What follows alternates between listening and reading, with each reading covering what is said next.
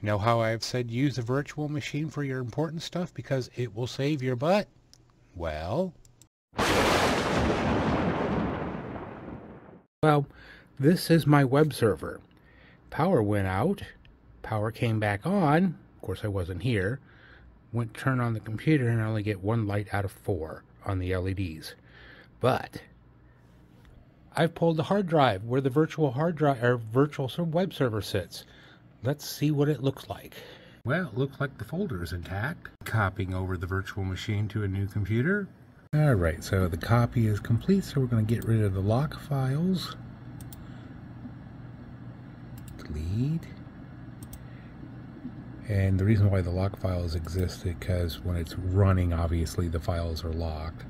So that's done. Let's see if we can find there's the other one. I knew there was three. And delete that one. Alright, so let's find the virtual machine and see if it actually works now. There it is. There it is loading. Let me get this out of the way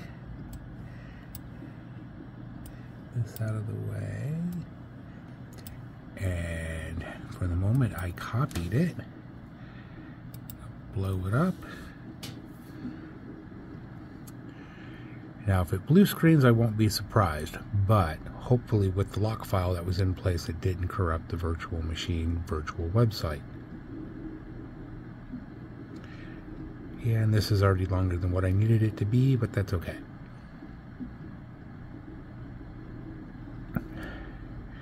Loading up good. And the spinnies have stopped, but that's okay. That happens on a virtual machine. Now this is going to run slower because I have it moved over to a mechanical drive for the moment until I can get the physical machine repaired. Getting device ready. Hmm.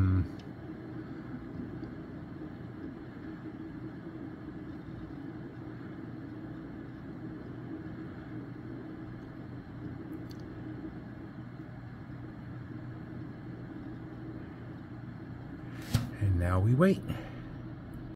Well, there it is. It looks like it's working. We're going to test it. Type in the website address. Go. Like I said, this is going to be working on a mechanical drive, but there we go. That's the advantage of a virtual machine. If the hardware fails, you just move the virtual machine to another computer until you can fix the hard drive or the hardware. So, pro tip of the day for the IT people.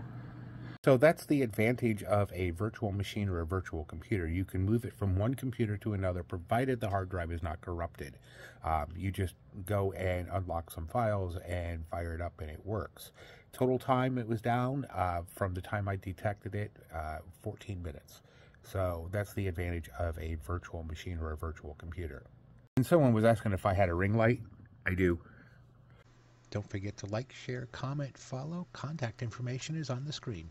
The only thing sad about this is the web server was on a surge protector battery backup and didn't save it. So I, I this web server is probably 12 years old. It's using an old FX8160 or an 8190 processor.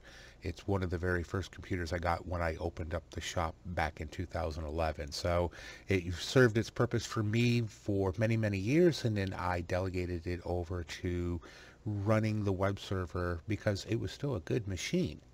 You know, why get rid of it? So, yeah, um, I guess we'll rebuild it and let it live on.